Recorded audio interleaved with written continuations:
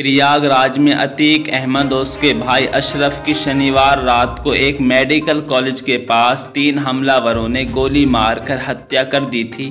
दोनों को 2005 के उमेश पाल हत्याकांड के सिलसिले में सुनवाई के लिए प्रयागराज लाया गया था।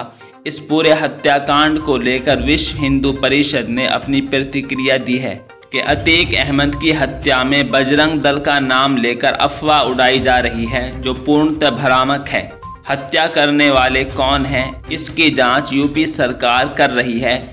सत्य सामने आ ही जाएगा। बहरहाल, अतीक अहमद के जो तीनों हत्यारे हैं, उनका बैकग्राउंड क्रिमिनल रहा है। पहले भी कई मामलों में जेल जा चुके हैं। और एक चीज़ आप सबने नोटिस की होगी कि जिस वक्त अतीक और अशरफ पर गोलियाँ चलाई गई और इस पूरे हत्याकांड को अंजाम दिया गया तो उसी वक्त जय श्री राम के नारे भी लगाए गए। तो उससे लग रहा था कि अतीक अहमद के हत्यारे किसी हिंदुत्ववादी संगठन से जुड़े हुए हैं।